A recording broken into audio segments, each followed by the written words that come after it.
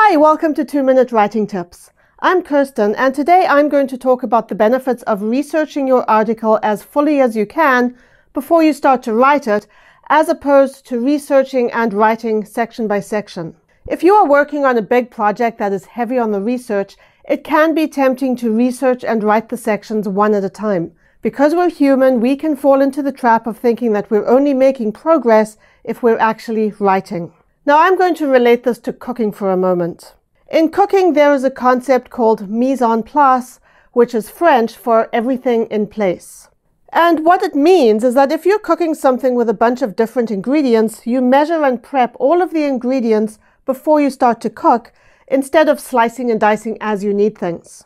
If you take the time to prep everything before you even turn a burner on, you will be more organized and less flustered, and crucially, you will have a better idea of how everything is supposed to fit together. The same goes for research. As enthusiastic as you may be about starting the writing, it is worth your while to do as much of the research as you can up front.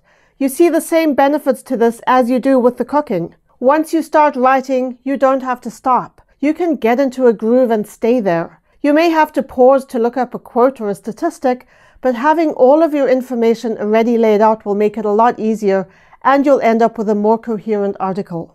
If you do all of your research in one go, the information you are presenting will be consistent and complete. You won't contradict yourself, your information will be more complete, and you won't have to do significant rewrites. You need to be able to see the big picture first. And most important, your stress levels will be way down because you will be less flustered. Less stress means you're more relaxed, and that means your thought processes and therefore your writing can flow more easily. That's it for today. I'll see you tomorrow.